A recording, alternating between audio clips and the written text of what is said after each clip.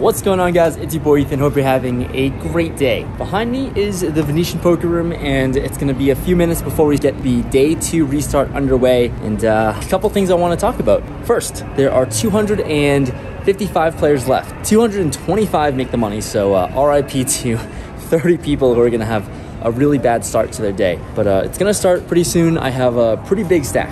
Blinds are restarting at the 3K level, so I have way more than 100 big blinds, just super deep. And uh, looking at my table to start, looks like it's gonna be uh, a good time. Uh, not too tough of a table to start at least, but a lot of short stacks, and I'm sure people will bust and new people will filter in. So uh, that's how I feel about this day two.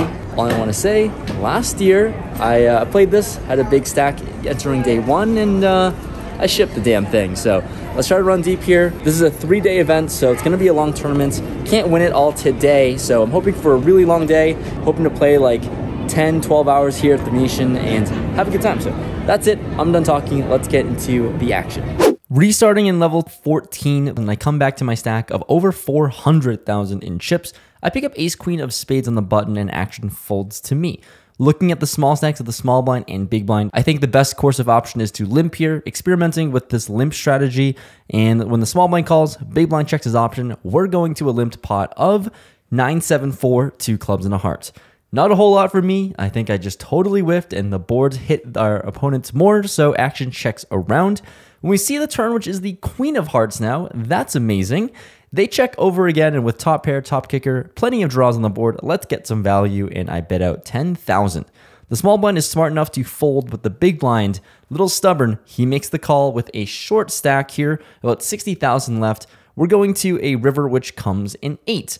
Board is a lot more connected now, and when he checks for a third time, I'm debating between betting again for thin value or just checking back and not thinking that this is a spot I need to go for, and, you know, I go for it, of course. I bet small, 13,000, hoping to just get called by a worse queen or worse pair. But sadly, he insta shoves, announces all in for a hair over 60,000 total. So it's about 50,000 for me to make the call. And why did I put myself in this tricky spot? I'm mainly just frustrated at myself for not checking back. And here we are in this decision. Is this player ever going to be overplaying a one pair hand? Is he ever bluffing in this spot close to the money bubble? Probably not, but I feel like for the right price and I have such a strong hand, top pair, top kicker, I'm curious and uh, yeah, let's just flick in a call, hope for the best, and he sadly shows me pocket eights. Yep, no one's bluffing, especially for the tournament life near the money. And yeah, Nice river to this player. I guess the only good thing is that if I played my hand ace queen as played, I actually would have been stacked if I raised preflop. So because I limped, I had the opportunity to not get stacked. Sadly, I still got stacked regardless, but here we are moving on. You know some of my favorite people to see at the poker table? They're big shot business people, the hedge fund type. Because it's no secret that hedge fund managers love to bet, whether it's at the market or at the poker tables. In fact, Steve Cohen, legendary hedge fund manager and owner of the New York Mets, has invested over a billion dollars into one of the most stable assets in history. One that's seen unprecedented demand as a result of market turmoil around the world and even outperformed his own hedge fund Point72 by more than 10 times this year. I'm talking about fine art. Fine art is emerging as one of the most sought after investments right now. In fact, New York Times has called it bulletproof even among historical market turmoil. And even as early as last year, Bank of America's chief investment strategist recommended investing in real assets like art to save your cash from inflation's bite. That's until I found Masterworks though, the fintech platform built specifically for art investing. Now I can just pull up Masterworks site and investment choosing from a catalog of offerings backed by physical and multi-million million dollar art. With inflation through the roof, demand for Masterworks has skyrocketed, but use my link in the description to skip their waitlist. And if you have a portfolio over $50,000, you can schedule a one-on-one -on -one with a registered investment advisor. All you have to do is click the link down in the description below to get VIP access. Big thank you to Masterworks. Personally, I think it's a great opportunity to check out, especially with how crazy the market has been so far. And let's get back to the hands. Down to 360,000 in my stack. Not a good start after the first hand, but time to rebound with aces. I raise it up to 9,000 and the small one makes the call. He's the other big stack at the table and he covers me. So hoping to play a big one. The flop is queen, three deuce, rainbow. He checks it over to me here and I decided to bet 5,000. In hindsight, it seems a little too small as I'm trying to build a pot against this big stack. Anyways, for 5,000, he makes the call. The turn is the five of diamonds, so we improve to a straight draw. And there's a backdoor flusher out there, but seems irrelevant with the ace of diamonds in my hand. So when he checks again, I size up to 22,000. I think I can get a lot of value from any queen in this spot. And good news, he does make the call again. So I'm pretty much just putting him on a queen, maybe a stubborn pocket pair below a queen, but that seems unlikely. Let's see a river now, which comes another five. Board is paired, and I basically have the nuts. It's unlikely that he's going to have a set or full house or trips here. So with the best two pair possible, he checks for a third time, and I'm definitely betting, and I'm trying to figure out how much I want to bet. I ended up sizing to close to the amount of the pot of 75,000. We're playing deep. We can easily bet big because it's not a huge part of his stack, but getting these trips is crucial. After thinking things over for a little bit, he ends up tossing in a call and I win. Show the pocket aces. They're obviously good. Nice to get three streets of value against probably just a queen, but here we are, a good way to rebound after that first hand. Moving on to level 15 now, blinds have increased and I pick up ace queen off suit once again. We're in early position and there's an early position plus one player to my right. He raises to 10,000. He seems to be a solid reg here in tournaments and I'm ready to battle. I think my hand plays better as a three bet, so I decided to do that. I raise it up to 30,000. Action folds around to him, and he defends. Makes the call. We're playing in position in a three bet pot. Let's battle here. The flop comes Jack 5 3, two diamonds, and he checks it over to me thinking that my hand is good enough to just bet small, hoping to just take it down with ace high a lot of the time. I think a lot of the hands that he's going to be holding will whiff this flop a high majority of the time, so I bet out 16,000 but he ends up making the call. So I'm thinking that when he calls this bet, he either has a jack, a smaller pocket pair, or maybe even diamonds. We're off to a turn which comes a deuce. He checks for a second time, and thinking that I'm behind with ace queen high, I've improved to a gutshot straight draw, and hoping to see a free river to maybe spike a queen or ace, I check this one back. The river now comes a board pairing three. Now, this player's first to act, he ends up betting out 62,000. It's a pretty big bet, and based on this sizing, it seems ambitious to think that he has one of those smaller pocket pairs under a jack.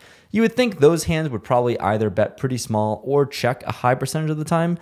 So I can comfortably throw out hands like pocket sixes all the way up to tens out of the equation here. And with this big bet, it seems like he's either saying he has a jack or some sort of missed diamond holding.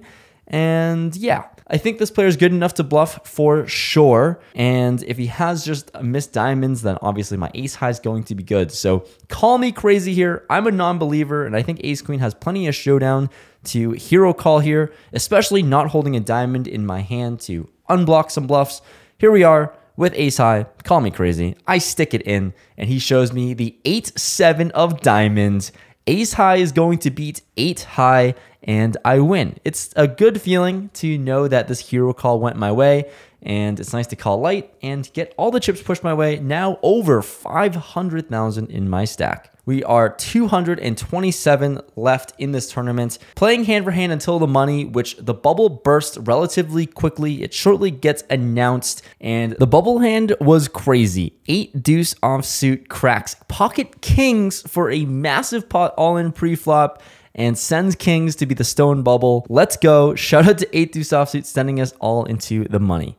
All right, currently entering break number one of the day. It's a good start, I would say. Started the day with 400,000 in stack. My peak was 600k, which is sick, and now we're in the money. Now uh, my stack dwindled a little bit to 500,000. Um, just blinds went around a few times. I raised a few times, didn't win anything. Uh, just trickled down, but it's nice to have the luxury of being a big stack right now at this stage of the tournament with about 200 players left. So I can just pick my spots and survive being card dead. Essentially, that's what happened for the last uh, hour or so.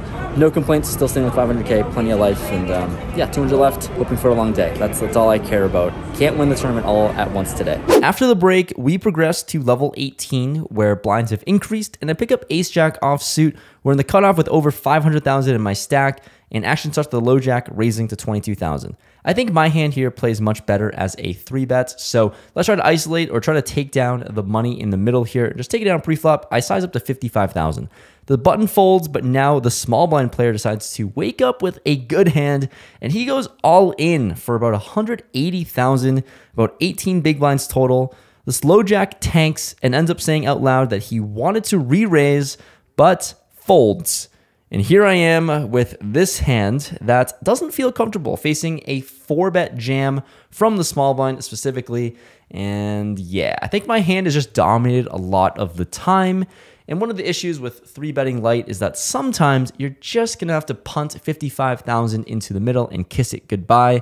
So that's what I'm gonna do. This player also seems overly tight, so I let my cards go. I fold and chip down. But the very next deal, the dealer gives me ace 10 offsuit, a little bit worse, but certainly a playable hand. So when action folds to me, I raise up to 21,000. Unfortunately, I get immediate action. The player to my left, someone who is much older, plays pretty tight, probably an OMC, he three bets to 41,000. Facing a min raise from this guy, action folds to me. And look at his stack. He's got about 20 big blinds, and I just don't see any point in calling here as I essentially just burn 20,000 chips a lot of the time to see a flop.